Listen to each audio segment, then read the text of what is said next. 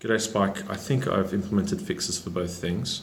What I'm showing you here is the uh, shape of the continuous function. So these points where it changes from being horizontal to being on a gradient are defined by the walk, run, and stand walk thresholds.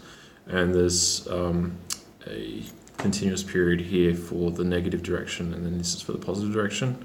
Anything above the walk run threshold is treated as running forward or running backwards and anything less than the stand walk threshold in either polarity is treated as being still. So I'll just run the program.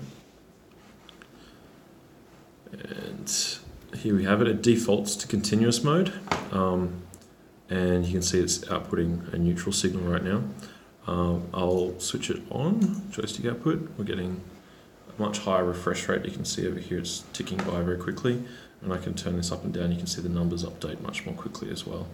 Um, and as I do that, you can see the dead zone here, and then we tick over 20 and it starts to gradually move down till we get to 50, and then it, it caps at the run in that direction.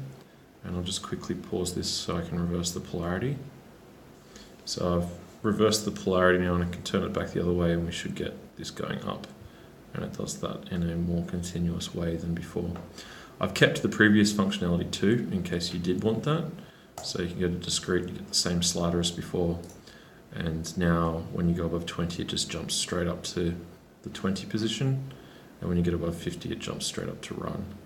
Um, and that run is defined by this position. So when it's in continuous mode, run is all the way. Um, and the walk um, is that whole period back down to where you're standing still. So I think that's better. Um, I won't know for sure if it's right until we try it in the lab, but um, it seems pretty good on my desktop.